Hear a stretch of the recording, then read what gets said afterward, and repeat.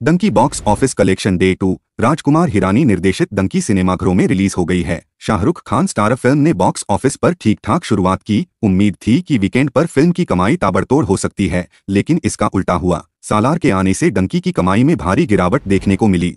जी हाँ दोस्तों, साल 2023 में शाहरुख खान ने दो ब्लॉकबस्टर फ़िल्मों से सिनेमा को नवाजा। जनवरी में पठान से धुआंधार कमाई की और फिर सितंबर में जवान फ़िल्म से कई रिकॉर्ड्स तोड़े। उम्मीद थी कि इन दो फ़िल्मों की तरह साल की तीसरी फ़िल्म डंकी भी छप्पर फाड़ कमाई करेगी और जवान पठान का रिकॉर्ड तोड़ेगी।